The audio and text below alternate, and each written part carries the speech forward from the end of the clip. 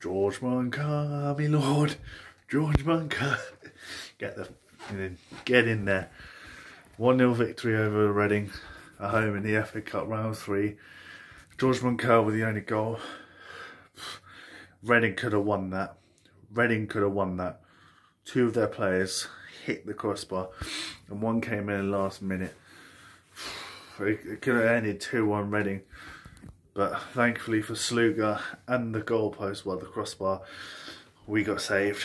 And Luton go through to round four of the FA Cup. But my God, what a game. I had to watch it off be uh, bet 365 because iFollow didn't have uh, Luton's game followed on iStream, the iFollow site, so I had to get it that way. Course, I had to put some funds in my account, but hey ho. Um, but 1 0 win. Brilliant. That's better. That's good. I'm hoping we can keep this up. I wonder who we're going to get in the FA Cup round four.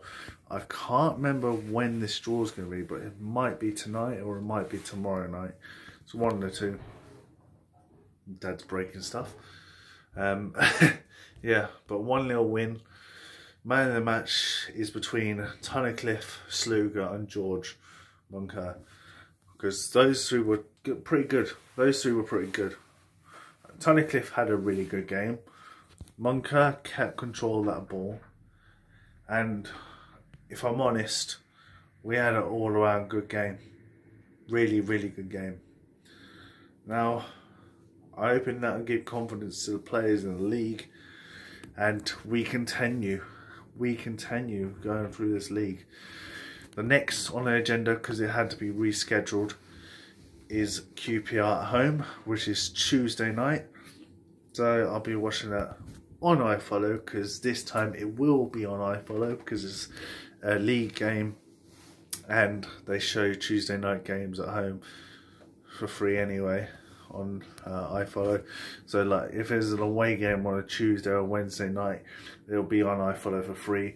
If it's a weekend fixture, I have to pay £10 for an away fixture unless it's been authorised to be off, well, on the air for free.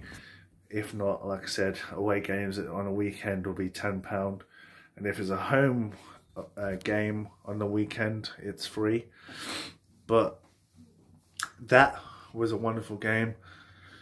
I'll be doing another video for the FA Cup round 4 draw and my opinions on who we've got and if we can have a good match against whoever we've got. Currently right now I've seen Chorley beating Derby 2-0 so now I'm in a good match against Derby who are in the championship as well. Don't know what's going on with them but something's going on with them. but a solid 1-0 win like I said. Hopefully we can bring the big guns for Tuesday night against QPR, which is rescheduled, as I said. But thanks for watching this review. This has been Brandon here. Remember to like, subscribe, share, comment, hit the notification bell.